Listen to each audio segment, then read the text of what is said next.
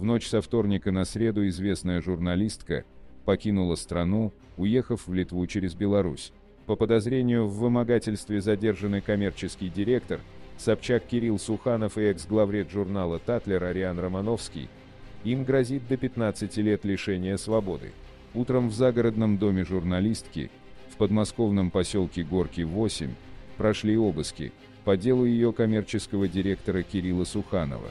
Последнего задержали понедельник вечером в одном из ресторанов Москвы. Ксения Собчак дала первый комментарий по поводу происходящего. Она надеется, что арест ее коммерческого директора Кирилла Суханова по делу о вымогательстве 11 миллионов рублей у главы Ростеха Сергея Чемизова недоразумение, с которым быстро разберутся. Не верю в это вообще и надеюсь, что сейчас во всем быстро разберутся и убедятся, что все это какая-то чушь, написала она в своем телеграм-канале.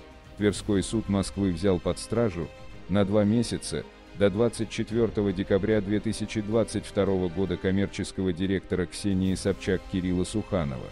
В отношении молодого человека возбуждено уголовное дело по статье «Вымогательство с целью получения имущества» в особо крупном размере. Суханову вменяется вымогательство у главы Ростеха Сергея Чемизова 11 миллионов рублей за удаление постов в телеграм-канале «Тушите свет». Вины своей сотрудник Собчак не признает –